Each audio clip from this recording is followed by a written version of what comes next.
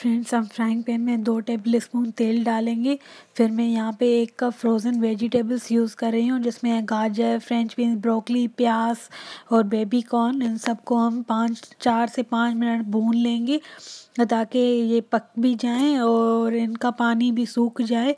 इसमें आधा छोटा चम्मच चीनी डालेंगे, आधा छोटा चम्मच नमक डाल देंगे और इसमें हम डालेंगे एक छोटा चम्मच विनेगर सुरखा और इसे हम पकाएँगे हाई फ्लेम पे पाँच मिनट।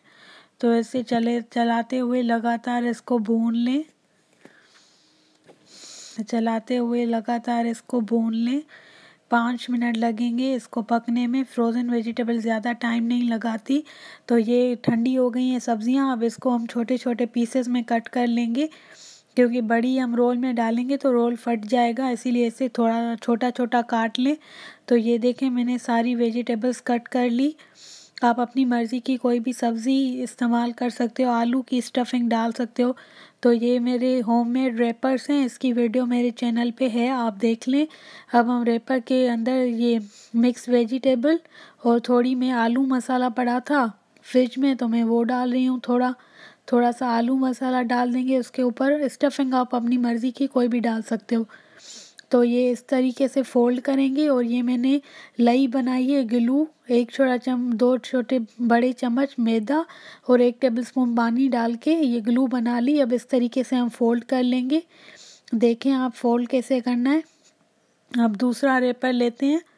एक हो गया। अब ये स्टफिंग डालेंगे बीच में और थोड़ा आलू का मसाला डालेंगे।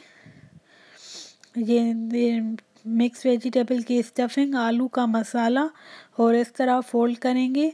किनारों को बीच में लाएँगे दोनों को फोल्ड करेंगे और एक और फोल्ड करेंगे और ग्लू लगाएँगे और इसको बंद कर देंगे। बिल्कुल आसान है। रेपर्स की वीडियो देखें मेरे चैनल पे। और ये हो गया। अब तेल गरम करने के लिए रखा है। शेलो फ्राई भी आप कर सकते हो, डीप फ्राई भी कर सकते हो। इसे आप रोल का नाम दें या पेटी का नाम दें, आपकी अपनी मर्ज़ी है। तो ये अब हम फ्राई कर लेते हैं। सुनहरी रंग आने तक दोनों साइडों से पका लेंगे। दोनों साइडों से सुनहरी रंग आना चाहिए। तो इसे हम पलट पलट के पका लेंगे। ये देखें, एक साइड से पक गया है। अब ये दूसरी साइड से हम इसे पका लेते हैं। दोनों साइडों से सुनहरी रंग आने तक पका लेंगे। जब तक ये गोल्डन ब्राउन नहीं हो जाता तो ये देखें, एक तो ये दूसरे भी मैं पका रही हूँ। टोटल चार रेपर्स थे तो मैंने चार रोल बनाए थे। चार ही रेपर्स मैंने बनाए थे, इसकी वीडियो मेरे चैनल पे है, आप देख सकते हैं।